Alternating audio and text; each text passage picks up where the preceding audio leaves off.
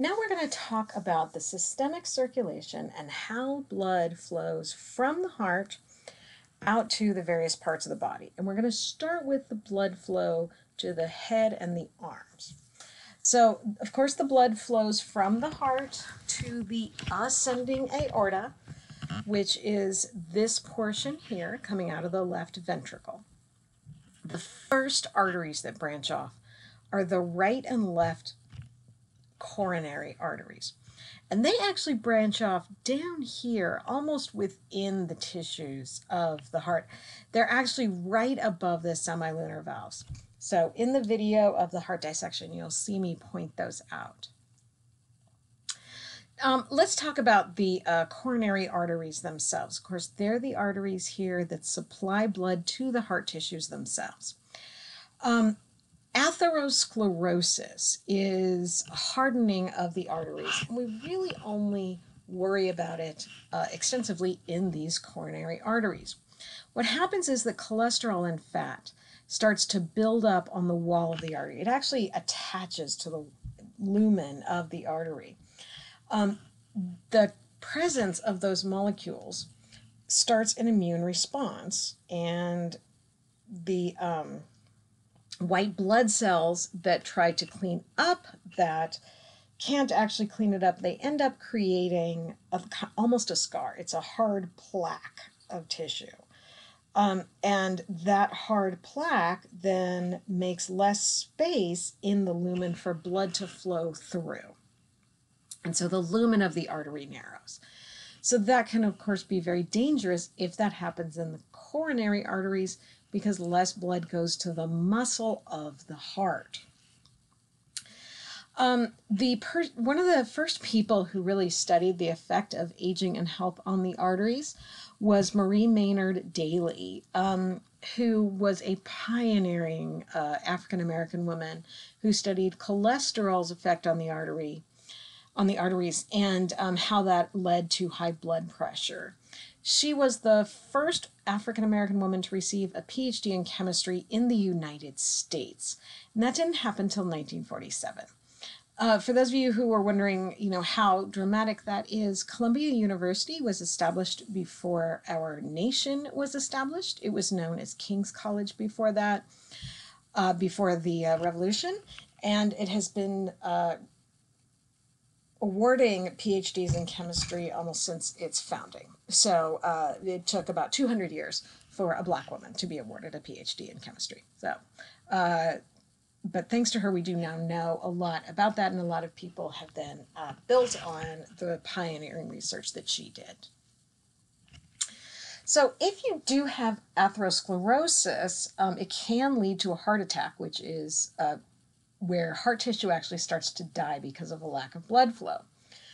Uh, one of the ways that doctors can either prevent a heart attack or uh, help someone after a heart attack is by an, a coronary artery bypass. And what they do is they take uh, an artery from another part of the body, often from a cadaver, uh, and they sew one end onto the aorta. And the other, they literally bypass the blocked part of the coronary artery and uh, sew the new artery just below the blocked part. Uh, and that way, the blood coming, the blood still flows to the coronary artery before the blockage. Uh, and then a secondary blood supply allows blood to flow past the blockage. That's what a coronary bypass is. Uh, one of the other ways that they now do this is with the insertion of a stent, which is a little balloon type of thing. Uh, that it's a it's a balloon inside a tube, uh, and the tube can expand. And what they do is they uh, feed the tube down into the coronary artery um, and then uh, get to the blockage, put the balloon inside the blockage, expand the balloon, and that expands the little tube around it. And then that expands the walls of the artery. And then the balloon is removed, but the stent, which is the little expanding tube, that stays in place. coronary bypass surgery is a, a, highly invasive surgery. They actually have to open up the whole chest.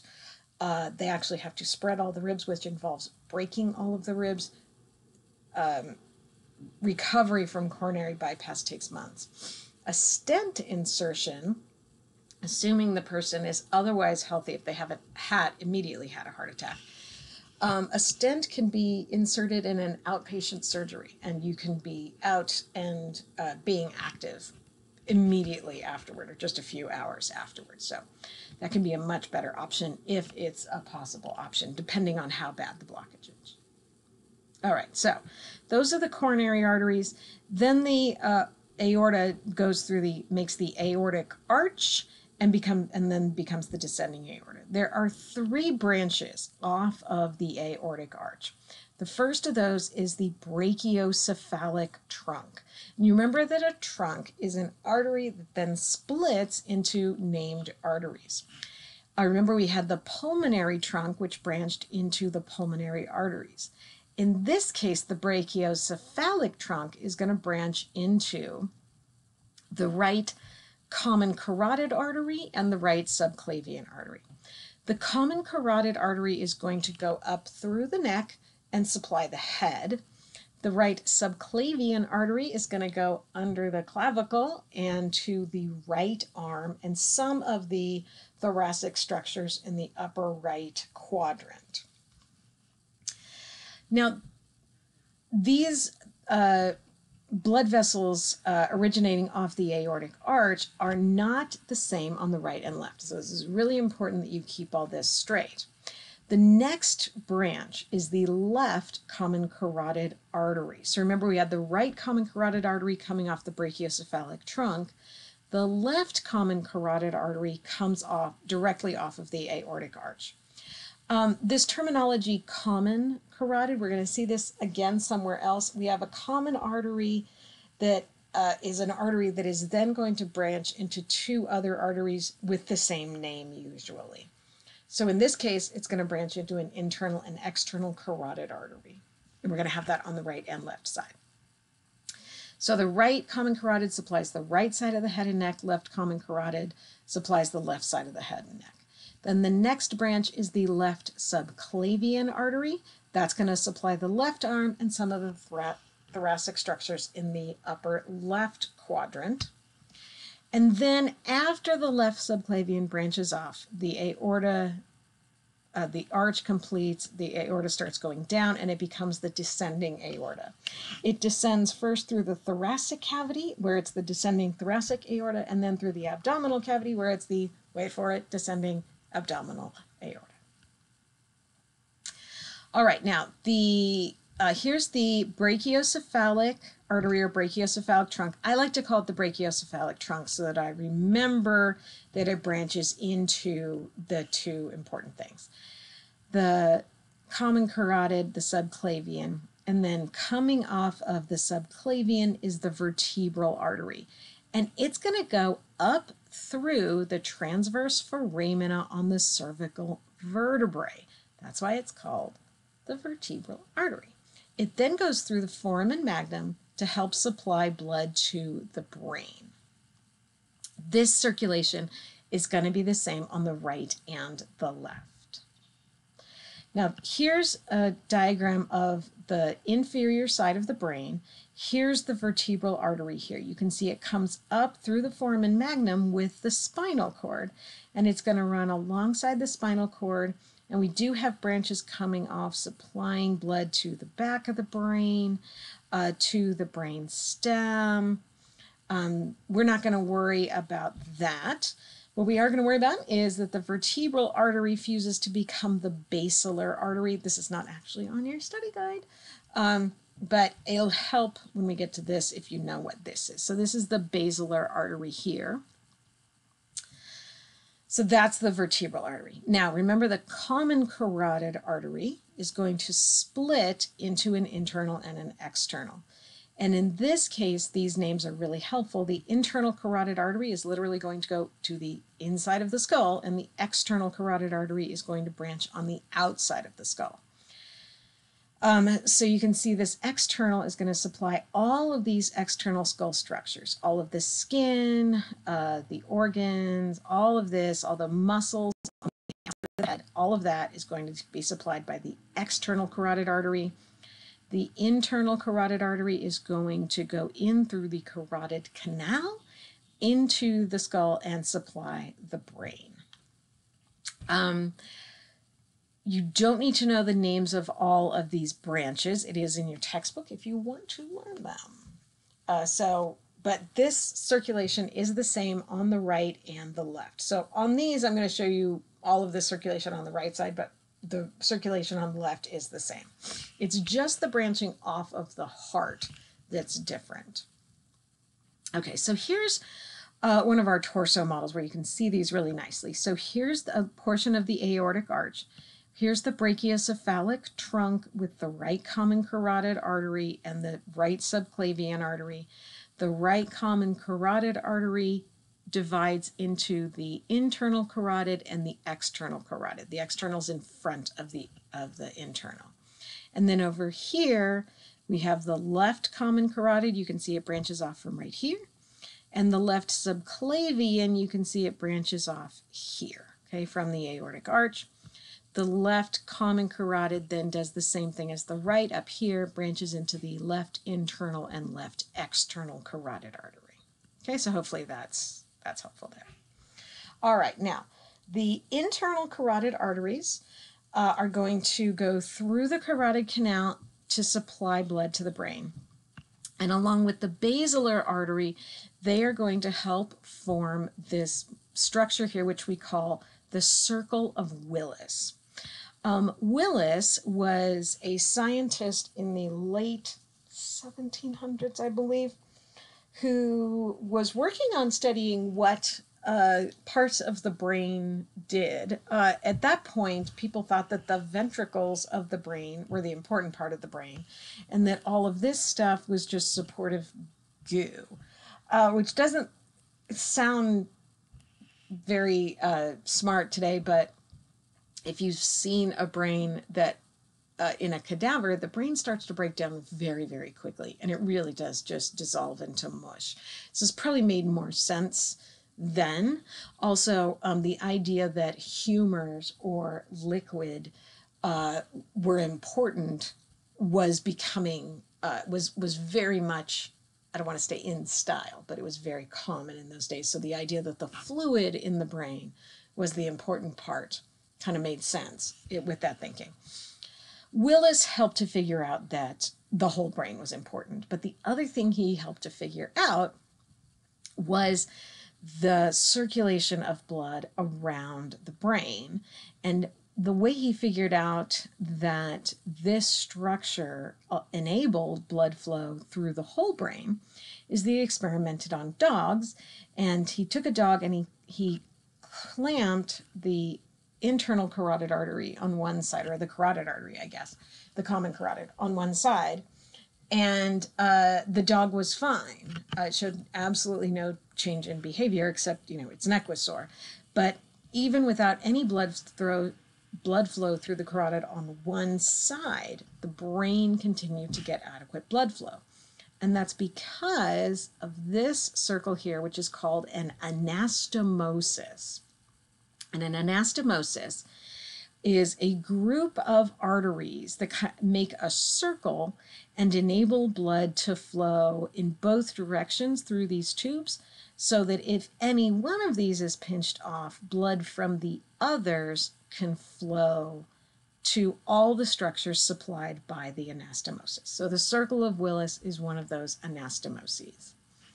Uh, Willis was also the one who figured out that there was such a thing as blood types, and he figured out that that out by experimenting on dogs, uh, by putting blood from one dog into another dog. The first one he did it on, it worked. He got all his friends together and said, "Oh my gosh, look at this!" He did it again, and it didn't work on another pair of dogs, and it took him a really long time to figure out. But he did eventually figure out that blood types were a thing. Okay, so we have the circle of Willis the internal carotid arteries and the vertebral arteries that become the basilar artery and then help to form that. Now, the blood, once it has circulated around the brain, it's going to leave through a couple different pathways. One is, you remember these venous sinuses, which are full of blood, right? And that blood has left the brain, pooled into these sinuses inside the meninges, and then these venous sinuses drain out through the internal jugular veins that travel through the uh, jugular canal, or uh, jugular foramen. So there's one jugular foramen on either side of the skull. There's also this sinus in the middle, which we didn't talk about when we were learning the sinuses, uh, that drains out through another foramen. Both of those are going to drain into the internal jug jugular vein. Okay, so the jugular veins run parallel to the carotid artery. So this is an example of pairs of arteries and veins that don't have the same name. Okay, so we have the carotid arteries and the jugular veins.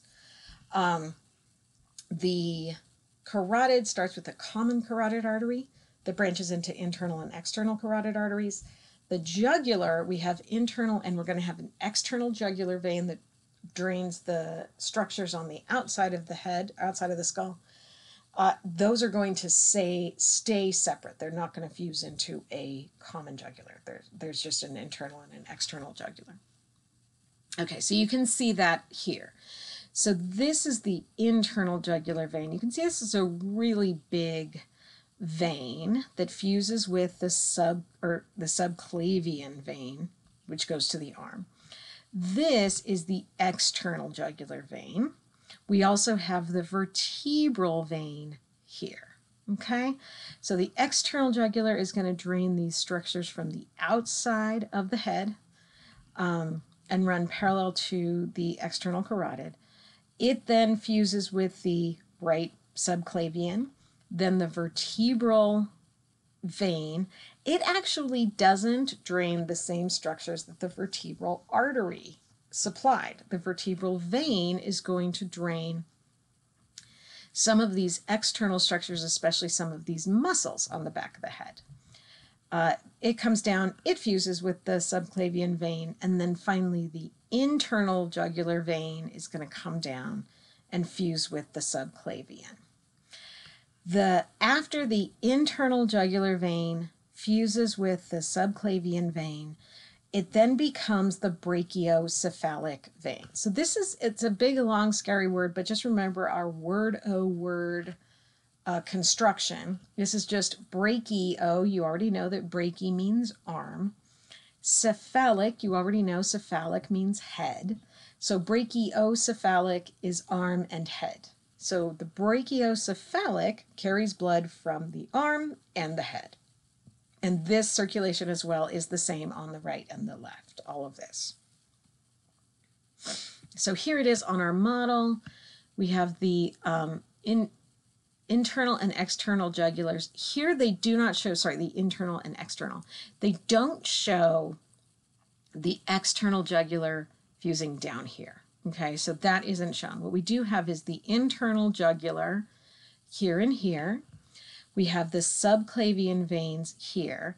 And after those two fuse together on both sides, they create the brachiocephalic veins. So the only difference here is that the two brachiocephalic veins are different lengths. The right is much shorter than the left, and that's because they're going to fuse together to form the superior vena cava which is going to enter on the right side of the heart. So the left brachiocephalic vein has to bring blood across to the right side. So that's why the left brachiocephalic is longer than the right brachiocephalic. Okay, so internal jugulars fuse with the subclavian to create a brachiocephalic. That's the same on both sides. And then the two brachiocephalic veins fuse to create the superior vena cava and then the superior vena cava drains into the right atrium.